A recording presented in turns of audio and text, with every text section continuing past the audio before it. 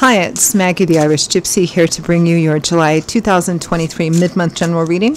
We are looking at the last half of July 2023, and this reading is for the fire sign of Leo. I hope everyone's doing well. Thanks for being here, for watching all of these videos on my channel. Uh, those of you who reach out for personal readings and refer and recommend. Uh, those of you who hit that like, share button, subscribe, uh, please hit that like button. It really does help. And uh, Thank you. So, Leo, if your Sun, Moon, Rising, or Venus sign is in Leo, this video is for you. If you are cross watching for a Leo, this video is also relevant. It's a general reading, which means that, of course, it'll resonate just a little differently for everyone. So, if you know your Sun, Moon, Rising, Venus, watch those videos as well for any additional insight.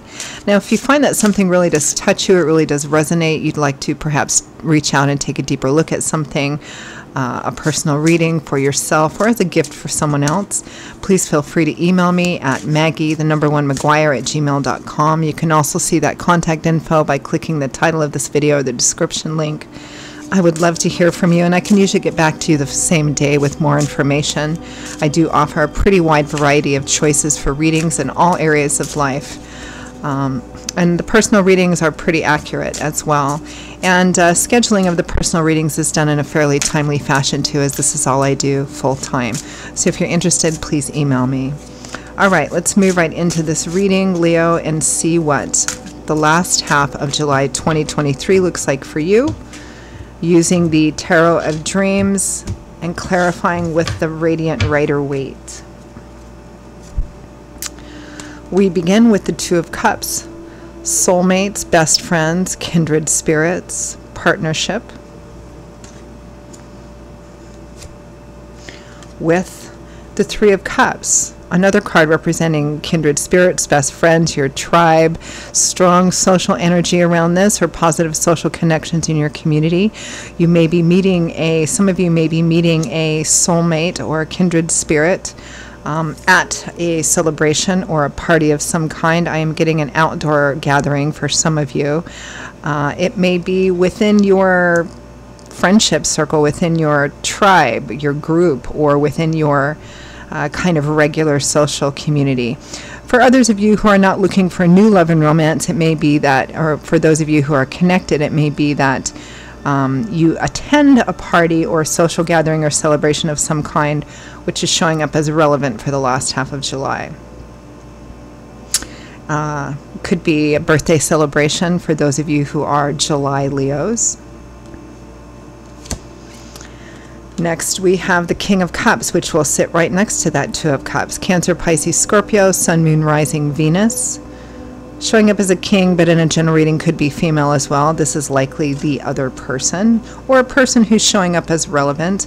The King of Cups is the king of water, of emotion. So he's uh, pretty emotionally intelligent, grown up, very in touch and aware of his own emotions and the emotions of the people around him. A good source of support, feedback, love, With the King of Cups, we have the Eight of Swords. The Eight of Swords is traditionally a card that represents feeling, you know, kind of held back mentally because Swords is governed by the element of air, which governs our intellectual landscape, how we look at things, how we see things, our perspectives. So this is a card that represents someone who feels they can't move forward or can't change something because of whatever the swords represent. Fill in the blank. I feel like this may have been a prior thing, though this King of Cups may have felt like they couldn't come in and pursue you or see if you were interested. And you can reverse this, it might be you towards this person because of something, and we'll clarify it. Next, we have the Knight of Swords, a very action oriented knight. This is about being decisive and taking action, moving forward. Knights represent offers and opportunities and the speed at which situations move. Knights take the knowledge and information they gained as pages and messages that they gained as pages, and then as knights, they begin to move forward and manifest things. So the Page of Swords would have been our spire, our information gatherer, and now he's taking that information and charging forward, or she is charging forward uh, to begin manifesting something. And this is also a card of active conversation, but it's a card about being decisive and action oriented. And coming after the Eight of Swords, I kind of like seeing that because it represents someone, whether it's this other person or you, that may have felt held back by something. Um, but perhaps because of what they've learned or what they've done or seen you learn and do, they are now moving forward with that with that knight of swords we have the wheel of fortune it is divine timing and orchestration even in the reverse the wheel of fortune is good but it can represent timing issues. It's just not quite time yet. But in the upright position it does represent um, good luck and good fortune happening now. This is moving forward pretty quickly.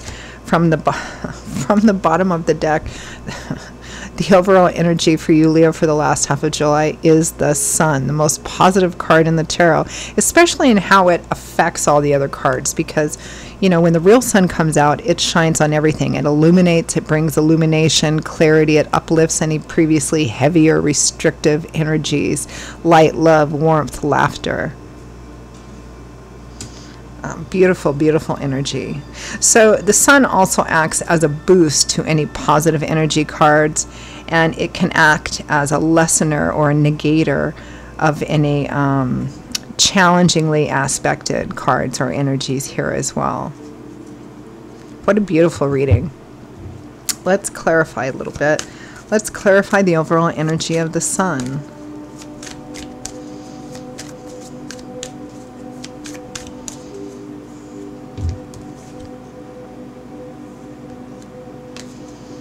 The Two of Cups again, soulmates, kindred spirits, positive social connections in your community. Definitely some great party energy there. Again, I feel like for some of you, there's a social event or social gathering in the last half of some of July that's going to be particularly relevant. You'll be meeting someone, two of you possibly will be meeting somebody that may make a, a difference again if you're already partnered with someone.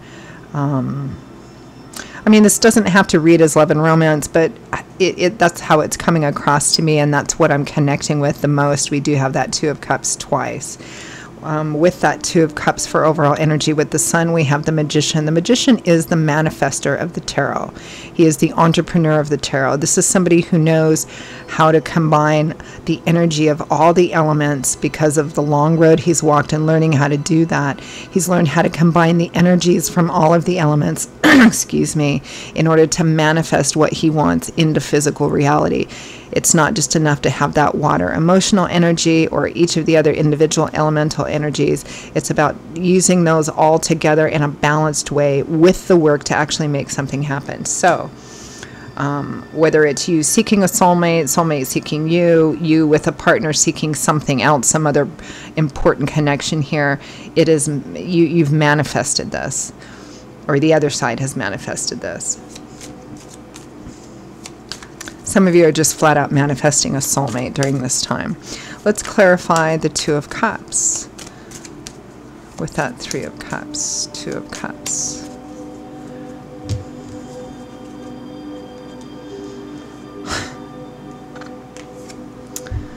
King of Cups again, Wheel of Fortune again. What beautiful clarification here. Soulmate, kindred spirit energies, divine timing and orchestration, and that King of Cups Cancer, Pisces, Scorpio, Sun, Moon, Rising, Venus. Um,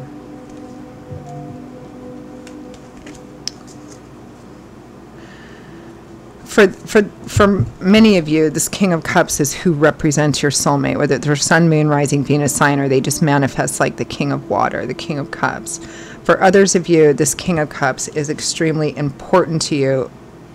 He might be, uh, he or she might be the person that's connecting you with uh, your soulmate or kindred spirit, or for those of you who are already partnered, bringing some other kind of opportunity into you. Let's clarify that Three of Cups kindred spirits, parties, social energy, community.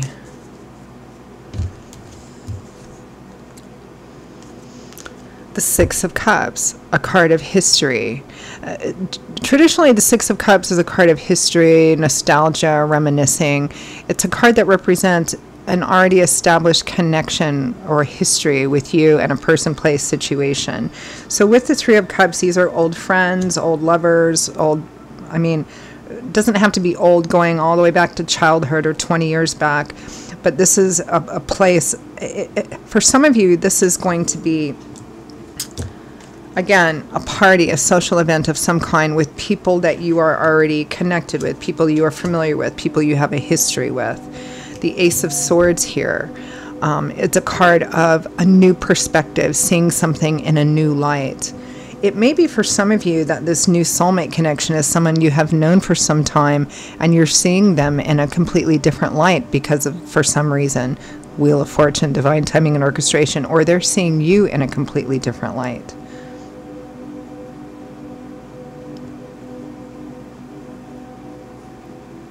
There's some new insider perspective coming in.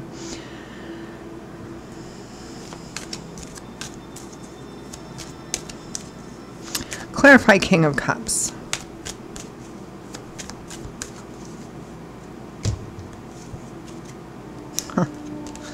The Knight of Swords again. How many repeating cards do we have? The Two of Cups, the Wheel of Fortune, the King of Cups, the Knight of Swords. I mean, it's like uh, verification here. So there's definitely a conversation going on with this King of Cups.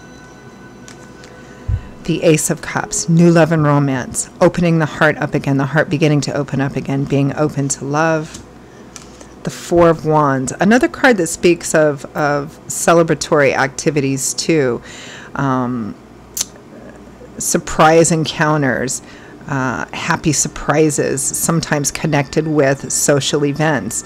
Uh, originally, this card was meant to uh, imply the anticipatory excitement we get when preparing for a social event of some kind. It's one of the traditional wedding cards.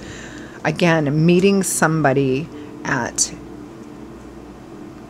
a party, a social event, a gathering, and this this social event or gathering might have a specific reason, like somebody's getting married or there's a specific celebration of some kind, or it might be an informal, let's get together, have a barbecue, something like that. It's also a wedding card, and, and with the Ace of Cups, this is somebody who's who's ready for love. They're opening their heart up for love. They're wanting you to open your heart uh, up for love. And for some of you, um, they want to get married. They want this this kind of happy home, home stability and harmony uh, with you. Let's clarify that Eight of Swords.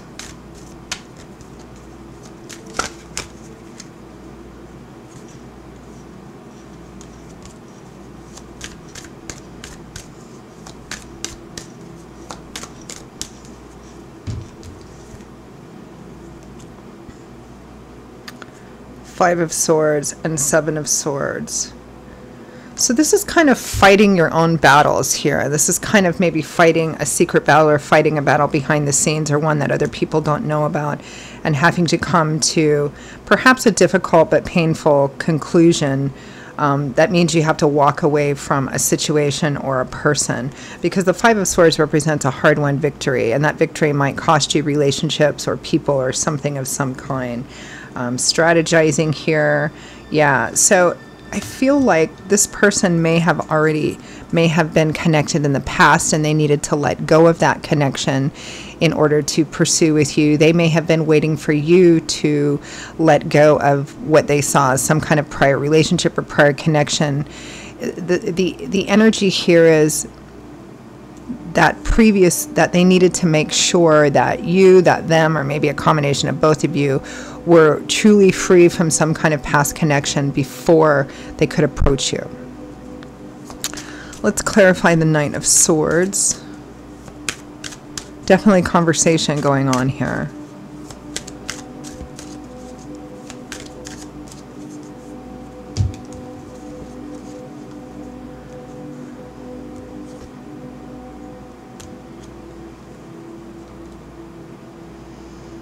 Eight of Pentacles, Knight of Pentacles, stability, Earth here, putting the work in, building something solid, stable, long lasting, step by step, a sure and steady thing. This person is really um, coming forward with for those of you seeking new love and romance or open to new love and romance or new love and romance is coming in for you this is somebody who really wants to build something long lasting lifelong stable um, now for others of you it may be um, a potential work collaboration particularly those of you who are already paired with someone or it could be a soulmate coming in that isn't romantically based but kind of a kindred spirit best friend with that you may be meeting at uh, again a party a social event of some kind and they want to work together. They may be making a an actual work offer career work offer with you or offering to um, collaborate together with you. Could be that for some of you. Love and romance definitely for the rest of you. Let's clarify the wheel of fortune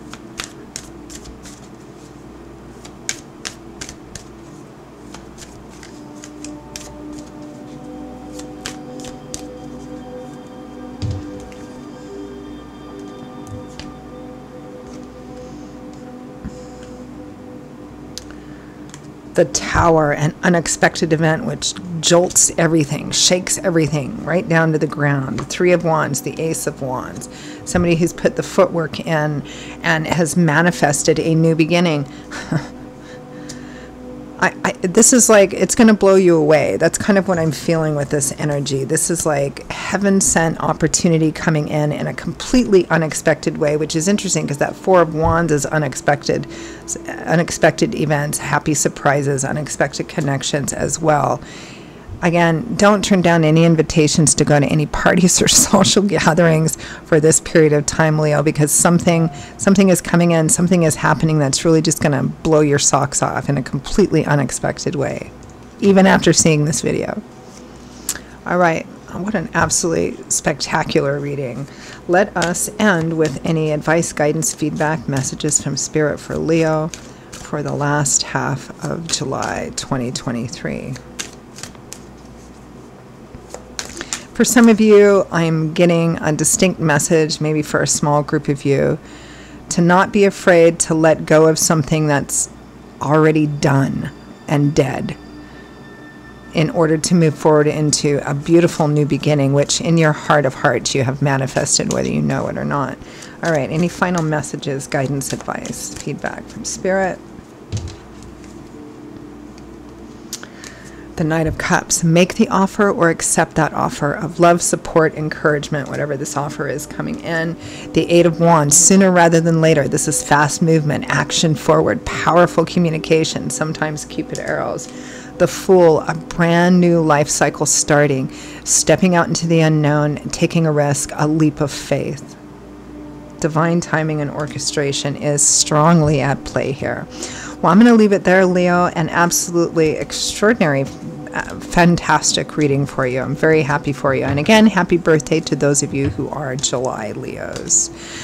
That is your messages for the last half of July 2023, Leo. I hope you enjoyed it and found it relevant and helpful. Again, if you did and you'd like to take a deeper look at something, reach out for a personal reading with me.